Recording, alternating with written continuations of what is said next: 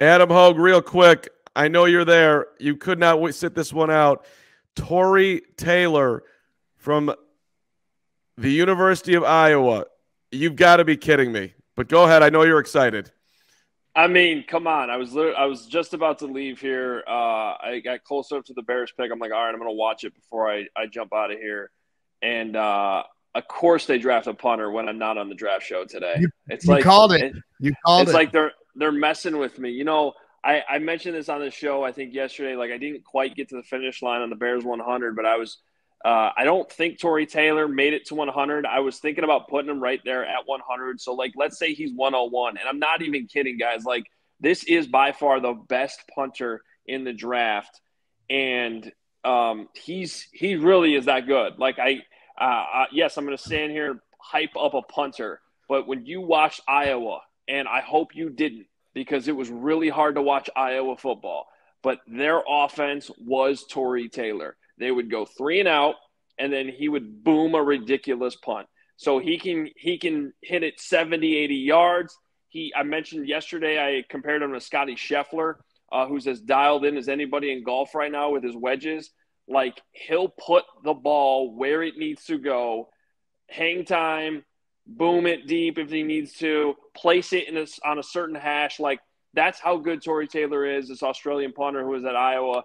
And, uh, so you can you can certainly make an argument that this isn't a need, but I would argue that you know Trenton Gill, Pat O'Donnell, the Bears have been on this run now for about ten years or so, where their punter has been good but not great, and you're you're entering into this era where you're trying to dial in every aspect of of your football team, and uh, of course I'm going to sit here and be the guy that says special teams matters but your punting game really does matter. It's all about field position. It affects probability of scoring all over the field. So maybe this isn't the top need at this point, but I do think it's a, a pretty significant upgrade at the punter position. Hopefully the Bears aren't punting as much anymore, but when they do, this is going to help set the defense up for success.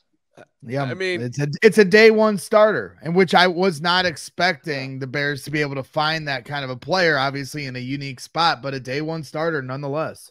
Hoge, because everyone's falling in love with you and and your love of punters. Would you have made this pick if you were sitting on the board right now? This is what I- you, Adam Hoge's drafting for the Bears with everybody that was there. You would have gone Tory Taylor. I'm um, if you say, it, go ahead. So, uh, to full transparency, because um, I'm obviously not working today. It wasn't even supposed to be on the show, but I had to jump on for this. Like, I haven't even really followed who's been picked yet today. I think I saw Bortolini got picked by the Colts. So did, maybe I would have had him a little bit higher. I don't know. Honestly, I don't know where the Bears 100 is right now. Um, but we are at that point of the draft where, regardless of what our best available was here and who's been taken and who's not, like it, it's if you can get a starter at this spot, a plug and play starter, I don't really care what position it is, including kicker and punter. That's why guys start to go here when they're when you're the top kicker. Uh, I think it's a reach in the second round. This is what I would have said was a reach last night in the third round. But you're on day three of the draft, and I don't care what the position is. If you can get a plug and play starter, that's awesome. And so, would you rather have a project edge rusher here that's going to take three years, like Dominique Robinson, and then not really work out? Or do you want to put in a punter that honestly, maybe I'm setting the expectations too high here? I, it would not shock me if Tory Taylor is one of the top five punters in the entire NFL right away as a rookie. That's how good he is. That's really Wow. how good he is. And and in terms of in terms of excitement with punters, I'm not saying everybody's going to sit out there and uh, get jacked up about a punter, but dude, he literally has a highlight reel for a punter. Like, go look it up. It's and it's fun to watch. Uh, so I watched one of the worst football games of my life last year when Wisconsin played Iowa, and the only reason that you would have kept watching that football game if you were not already an Iowa or Wisconsin fan was because of what Tory Taylor was doing as a punter. And, and, and I'm, I'm, I'm, I'm kind of having fun with this, but also being serious. Uh, all right, I'm on my feet for the putter. I'm in. Let's go. Standing Elite- every time he runs out there, I'm getting up. Let's go, Tory. Don't worry about that, Caleb. You're my guy. Put that thing on the at the two. Make it spin back, Tory.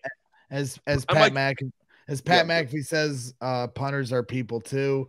Um, so so um, Adam, who's who's gonna drop it in the bucket better next year? Caleb Williams or Tory Taylor?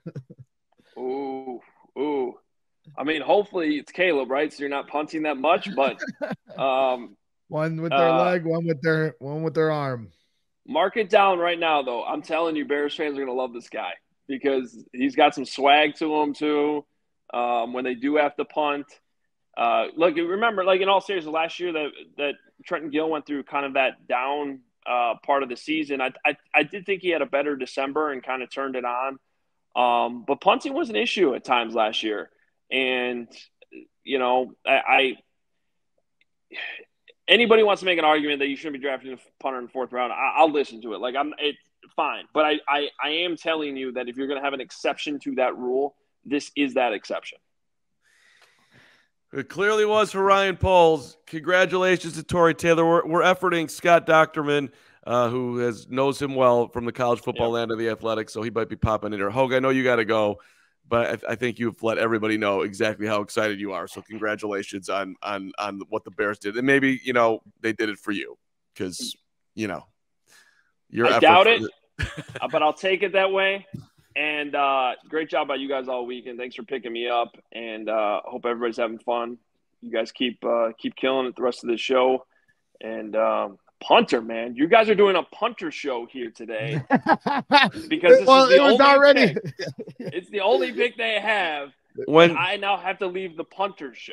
It was when, already an obscure show with Carman and Braggs leading the the draft analysis on a Saturday. So why not throw the curveball and have well, a punter in here. Well, so. and for for full transparency, uh, you know, Gary Rappaporter texts me that Tony Taylor is the pick, and I'm like, he means Tory, but there's no way. and, and, and and and I was trying to well, you know, I mean, this is one of the few times that Gary had it wrong. And but Paul hey. said last night they had a few gold level players. You know, you have blue players and then I guess gold level players. So I'm assuming this was one of their gold level players on their board. Uh Hoge, travel safe.